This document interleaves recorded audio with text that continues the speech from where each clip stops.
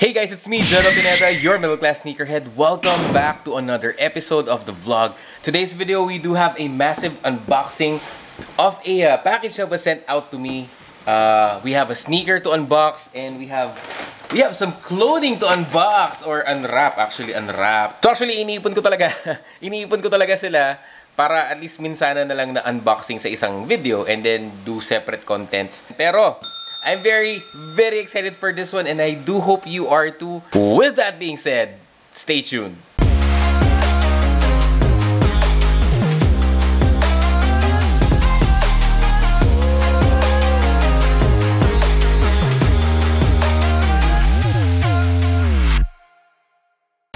Thank you so much for checking on this video today guys and I do hope you guys are having a wonderful day. Kung bago ka dito, consider subscribing to my YouTube channel for more videos just like this. And kung matagal ka na dito tol, alam mo na to. Thank you so much for sticking with me. So, sobrang excited ko, binuksan ko na siya pero hindi pa all the way through. Tinignan ko lang kung hindi nag-leak yung pinadala sa akin. But um, overall man, uh, this is one of the, I guess one of the crazy, I, di naman crazy, pero I guess one of the best uh, unboxings that I've done over the past couple of months. Kasi syempre with all this lockdown going on, with all the ayoko mag ayoko magbigay ng negative vibes sa sa sa channel no? But I, I can't really go anywhere. And kumbaga medyo na squish ng konti yung content into something na hindi ko alam mo yun ang hirap eh. And of course a huge huge shout out sa lahat ng mga nagpadala sa lahat ng mga nag-assist when it comes sa mga i-unbox natin today. I'm very excited kasi sobrang isa to sa mga matagal ko nang ina-anticipate na matanggap. And of course, I do hope you guys are staying safe. I do hope you guys are staying healthy. Please, please, please. Also, get vaccinated. Get, guys, please get vaccinated. Okay, so we do have a package. Actually, pinagsama-sama na lang dito yung mga pinadala sa akin para at least uh, isang shipping na lang, no? So, let's go ahead and open this one right here. This one is uh, a cleaner, no? Another thing to unbox or unwrap, no? So, tanggalin muna natin tong box. And let's open this one. Oh! Ah. Here it is. So this one is a black box. As you can see here, obviously, this one is a uh, a sneaker cleaner. Yan. So, ang ganda ng box niyo. Talagang parang cardboard or wooden finish na box. Ang ganda ng box. This one is the Rems and Shinobi. Ayan, Rems and Shinobi na cleaners. Ayan, this one is a collaboration between Rems and Shinobi. So, so Rems, you have that Rems shoe cleaner. Ito ang kanilang calling card. And this is, uh, ito yung card naman ni Shinobi. Ayan, this is his card.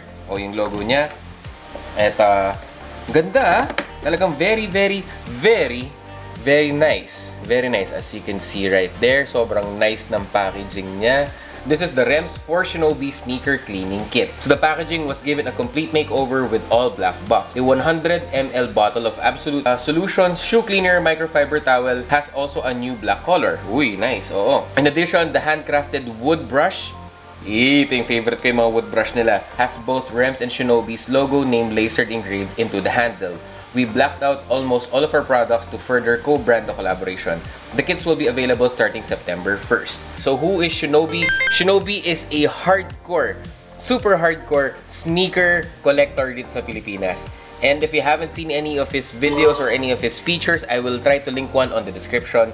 Sobrang massive, massive sneaker collection and this one was made specifically for him. And of course, with Shinobi, a hardcore sneaker collector, he would definitely just pick out the best cleaner for his price possessions, which is ang kanyang mga sneakers. And of course, with that being said, we do have Rems. Ayan, so yan siya, Rems for Shinobi. Okay, actually favorite ko to be honest, ang Rem shoe cleaner. Like for upper material, sa mga maselan material, suede, nubuck, uh, ako Rems ang ginagamit ko talaga.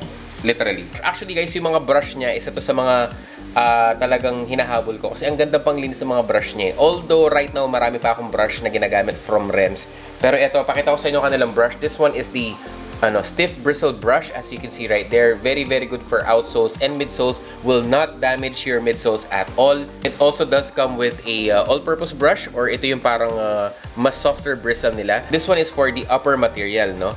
So, at least if you are working with suede or medyo delicate na mga materials, this one is better to use kasi mas malambot siya uh, than ito. And of course, meron tayong extra microfiber towel. Bro, pa- parang alam mong naubos yung microfiber ko ha. Thank you so much. At ang pinakamaganda dito, it's black. So, alam naman natin syempre pag dumudumi yung sneaker or dumudumi yung uh, brush natin, wipe natin sneaker, eh medyo nag-discolor na yung mga white microfiber towel. So, it is very, very smart. Very, very smart to uh, just use black uh, cloth, no? Para at least kung nadi-discolor man siya, hindi masyadong halata. Unlike yung mga white na talagang isang gamitan pa lang, eh, maduming madumi na. I will link Gem Shoe Cleaner Facebook page on the description just in case you do wanna go ahead and order ang kanilang bagong collaboration with Shinobi. Ryan Remo Bugarin, bro, thank you so much for this one. I really, really appreciate you sending these guys to me. And uh, definitely, we're gonna be doing another video soon uh, for Rem Shoe Cleaner. And of course, Boss Rems, by the way, hindi tumulo. All good. Thank you so much. Let's go ahead and move on to our next unboxing. Actually, hindi siya unboxing. More of, uh, ito, unwrapping. So, I made a video previously about COS. Okay, COS and Uniqlo. Ayan. So, gumawa ako ng video. I'll link it on top of the screen. Of course, maraming maraming maraming maraming salamat sa lahat ng mga nag-comment at nagdagdag ng info about the release of COS in Japan and also in China and such. I guess wala tayong masyadong idea in terms of release and such. So, kumbaga, more of research lang din ang naan natin. So, ang mga sa akin ay dumating na! Yes, sir! A huge, huge thank you kay SJ Caps and Sneakers. Ayan, Boss Gerard. My SJ Sneaks family, maraming maraming salamat for sending these guys my way. For securing some shirts para sa akin. And of course, sinuot ko yung aking uh, uh, COS na shirt. Ayan, from the second release ba to? Second release or... O basta anyways, yung previous release ng COS. At uh, yan, ito na. And of course, meron pa tayong mga available shirts kay SJ Sneakers. If you guys want to go ahead and order, I will link his Facebook page on the description as well. Go ahead and order kasi meron pa siyang natitirang stocks. At the same time, meron na siyang makukuhanan just in case na naubusan siya. Ito, special request to eh. Special request to, of course. Uh, size ni Alfonso, sir! Yes, sir! Ayan, so this one is a size 1, 110. Ayan, pang baby para sa para kay Alfonso, ayan siya. Dark gray nga siya, hindi siya blue. Uh, ayan o, as you can see there, hindi siya dark blue or navy blue, it's more of gray talaga. Okay, so ayan, ang ganda ng kulay niya. And of course, yung crying companion over there. And as you can see here, yung mga tags and all, 100% legit. Release ng Uniqlo, this one sold for, this one sold for 990 yen. 990 yen, so I'm not sure hindi ko alam kung paano ko convert yan, pero ayan. And it also has that COS Tokyo first print dito sa sleeve. Mm-hmm. Okay, next. Man, ang natin bubuksan. Pero anyways, hindi ko na siguro bubuksan yung kay, kay Daphne, no? Si, so, si Mrs. Uh, kumuha din. So, meron siya nung black and nung white. Ayoko munang buksan, kumbaga, um, i, dahil sa kanya to. So, uh, para at least kung gusto muna niyang i-keep na naka-plastic and such, uh, ito. Okay? So, pero it's the same print, it's the same color. At ang mga bubuksan natin, of course, ay yung mga sa akin. Ayan. So, kumuha ako. Kumuha ako ng tatlong shirts. Tatlong shirts. Start natin dito sa yung print lang. Here is the first shirt. This one is the COS Tokyo First na print lang, yung font. And the print is just okay. Alam mo yung, oh, yung rubberized na ano, rubberized print, hindi sila yung kagaya nito na parang hindi masyadong ramdam na print sila. So ito, rubberized pala siya. And this one comes in all black. I got an XL kasi ito ay XL dati. Dati itong XL. Ngayon lumiit kakalabas. So I do think, syempre kakasuot, eh liliit at liliit yan. So definitely, ito yan. COS, COS Tokyo first. Yes, sir. Alright, so next shirt natin, ito yung dark gray. Ayan, ito yung dark gray. Actually, ang ganda kasi ng dark gray pag naka-black ka na. Pag naka-black ka na, ano, ang laki pala. Naku, laki pala net. Eh, hindi, sakto lang. Sakto lang, sakto lang. So, ayan siya. This one is the gray kagaya nung sa kay Alfonso. Ito yung ano, ang ganda ng kulay niya. Tapos yung print niya, well, yung print niya medyo... Hindi ko alam, siguro sa akin, nag, ano na lang to, nawala na yung uh, parang roughness nung, nung print. Pero ayan, parang rubberized print ng Crying Companion. It does have yung mga tags niya, Cost Tokyo First, and 1,500 yen pala. 1,500 yen ang, ano ang uh, price nila sa Japan. And it does have the Cost Tokyo First na logo or print dito sa side. Overall, ang ganda ng kulay. In terms of fit, gagawa ako ng uh, isa pang video in terms of uh, these guys. In terms of how they fit overall, tsaka how to style yung mga COS na shirts, no? So, separate video natin para meron tayong content para kahit nasa bahay lang, eh, okay tayo. And of course, the last last shirt. Okay, last shirt na bubuksan natin for this one. So this one is another cos. Ito yung nakahiga na ano, ito yung nakahiga na cos companion. All white print, all white shirt and that rubberized print. XL ang kinuha ko. It also does have the COS Tokyo First logo here on the side. Um, same. Ah, alam naman natin kung gaano kaganda yung fabric ng Uniqlo. So, presko, presko in my opinion. Ang ano ko lang talaga with Uniqlo, the more kasi na nagagamit, the more na lumiliit sila. Just based off of my experience, Yes, sir. So again, a huge, huge thank you and a shout out once again kay SJ Sneakers, SJ Caps and Sneakers. And if you are looking for caps, shirts, you're looking for sneakers, go ahead. I'll put their Facebook page again on the description. Go ahead and message them kung meron kang kailangan. Last to unbox, thank you so much to the Secret Plug. Secret Plug, bro! Bro, thank you so much. So of course, ano pa nga ba? What do we have right here? We do have a pair of Jordan 1s. Yes! Yun, gusto pala niya baligtad. So, moment of truth. This is one of, I guess, para sa akin. I won't be able to afford the high-top versions in in my current situation. Tsaka, spending limit ko talaga is uh, 20k lang talaga. 20k, I'm stopping there. I'm not going more for for a sneaker.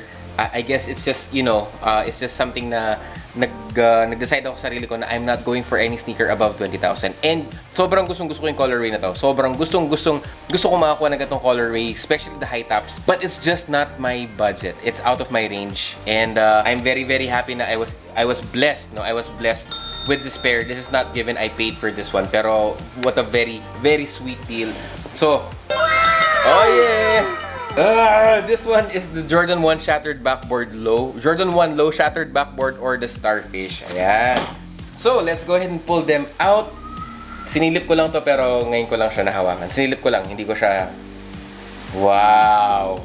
And there you go. Meron siyang resibo. Pinakamaganda dyan, meron siyang resibo. And this one is a Titan release. Titan release. So, ayan. Boom! Ito siya! Jordan 1 Low Shattered Backboard or yung Starfish na sinasabi nila. Uh, for me, it's still the Shattered Backboard.